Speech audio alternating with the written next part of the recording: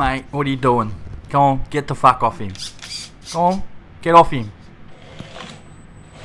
Come on. He's your little RC brother, mate. You're going to look out for him.